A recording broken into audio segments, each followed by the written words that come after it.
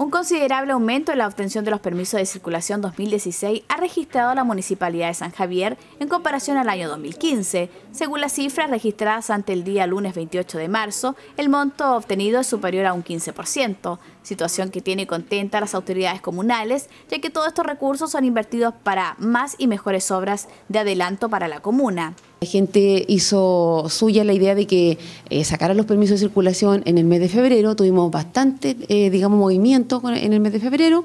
Y además eh, el hecho de que tuviéramos también dos puntos de venta, no solamente aquí en el departamento, sino que también en el Teatro Municipal, la gente ha agradecido esa, digamos, esa idea del municipio y la idea era también no congestionar y ofrecerle un mejor servicio a la comunidad.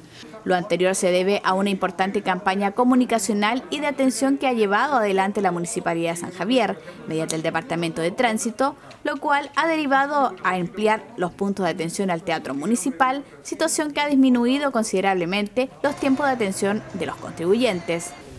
Muy expedito, en realidad me demoré nada, dos minutos sería lo que estuve en la fila, así que súper bien, todo listo y eso que me cambié de municipio. Así que estuvo rápido. Bueno, no me demoré 10 minutos en todo el trámite.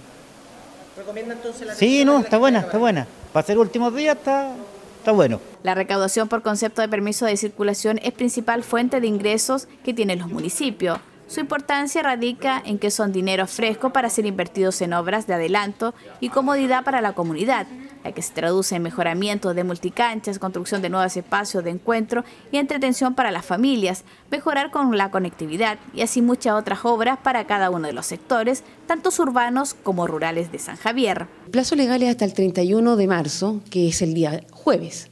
Ya hasta el día jueves nosotros tendemos en el mismo horario de 8 y media a 2 de la tarde y de 3 de la tarde hasta las 8 y media de la tarde. Ya las personas que por cualquier razón se atrasen o, digamos no puedan sacar su permiso de circulación, eh, lo pueden sacar cualquier otro día de, digamos, de, mm, del, mes. Sin embargo, eh, ellos van a sacar con multa un pequeño interés, un reajuste, digamos, que se les hace por no sacar el día en el mes que corresponde, y además pierden la opción de realizarlo en dos cuotas, solamente lo van a poder hacer por un, en una sola cuota.